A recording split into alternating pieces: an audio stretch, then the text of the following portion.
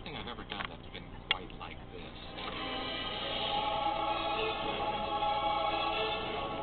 I think there's all kinds of mixed up cultural references in the style and the look of the film, and Tim wanted to keep that same thing going with the music, like really keeping it off center and mixed up, but in a way that you wouldn't quite know what to expect. For the score of Charlie, all the themes really work between uh, Willy Wonka and Charlie.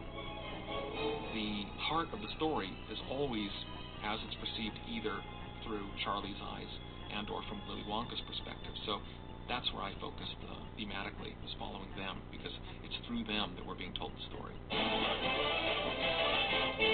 Tim asked me to start doing these songs, and it was this kind of crazy, fun, experimental process. The first song was Augustus Gloop. Augustus Gloop, Augustus Gloop, So I just started doing the song at home, and I grabbed a mic and laid on about 50 voices.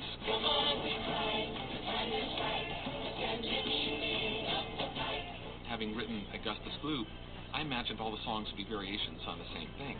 But Tim was like, no, no, no.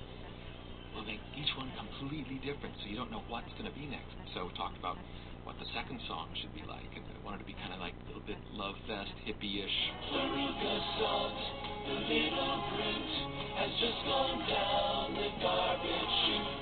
Finish that one. Third one, what are we going to do?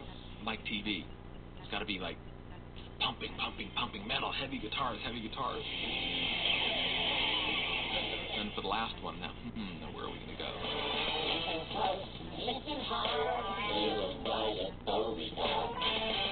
Constructing those songs was just such a romp. I just kind of went with Tim and had fun. Brother, well done.